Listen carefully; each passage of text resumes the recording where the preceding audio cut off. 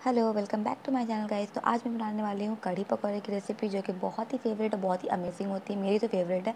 तो आप लोगों ने मुझे कमेंट करके बताना कि आप लोगों का फेवरेट है या नहीं। तो यहाँ पे मैंने दाल को पीस लिया। उसकी में, मैं ऐड कर रही हूँ हल्दी, मिर्ची काली मिर्च का पाउडर ज़ीरा पाउडर और नमक। तीन चार चम्मच मैंने भर के लिया है। और आप लोग जितना बना रहे हो, उस हिसाब से टेस्ट के अकॉर्डिंग रखना। नमक थोड़ा ज़्यादा ही रहता है, क्योंकि कढ़ी में समझ में नहीं आता। मम्मी ऐसा बोलती है। और मैंने ये रेसिपी मम्मी की है, और ये बहुत ही बहुत ही बहुत ही ज़्यादा टेस्टी बनती है गाइज़ और अब जाके मैं इतना अच्छा कढ़ी बनाने लगी हूँ, मम्मी के सिखाने के बाद। और मेरा तो मतलब हफ़्ते में मतलब एक या दो बार कढ़ी तो बनना ही बनना है। मतलब मेरा गुजारा नहीं होता कढ़ी के बिना। तो यहाँ पे मैं तड़का लगा रही हूँ कढ़ी में तो उसके लिए मैंने यहाँ पे सरसों का तेल लिया है, चार पाँच खड़े मैंने मिर्च ले लिए लिए हैं। और उसमें मैंने पानी ऐड कर दिया था ना दाल में, उसका एक अच्छा सा ग्रेवी बना लिया और वो सारे चीज़ों को मैंने उसमें ट्रांसफ़र कर दिया। तो छोंक लगी उसको दाल को पकने देते हैं हम और जो बचे हुए दाल थे, जिसके हमें पकौड़ी बनानी है, वो दाल की पकौड़ी और दाल की कड़ी जो होती है ना, उसकी बात ही अलग होती है। उसके अलावा मुझे कुछ पसंद नहीं आता। तो मैं बस वही बनाती हूँ, बेसन के मुझे पसंद नहीं है और ना कि अंदर फीलिंग वाली, प्याज वाली, वो भी मुझे पसंद नहीं है।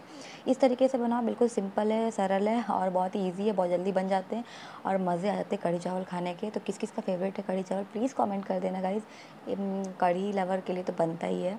तो इस तरीके से हमें दाल को इतना अच्छे से फेंटना है इतना अच्छे से फेंटना है तो मैंने ब्लेंडर से अच्छे से फेंट लिया था उसे और पकौड़ी छान लिए बिल्कुल देख सकते हो ना, बच्चे फूली फूली पकौड़ी हो गई थी।